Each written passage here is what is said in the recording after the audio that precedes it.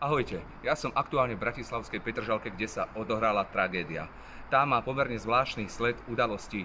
Najskôr totižto o 10. hodine 30. minúte vyskočil z paneláku za mnou z jedného z okien muž, ktorý na mieste zomrel. O 5 hodín neskôr vyskočila z toho istého okna žena. Tá mala na sebe bodné poranenia. Muž a žena boli súrodenci. Keď policajti išli do bytu, z ktorého muž a žena vyskočili, našli v byte mŕtvého 10-ročného chlapca. Ten mal mať na sebe tiež bodné poranenia. Na mieste sú aktuálne policajti, vyšetrujú celý prípad. Ide zrejme o vraždu, zistujeme viac informácií. Ja som Ivan Mego a sledujte Startitap, tam sa dozviete viac.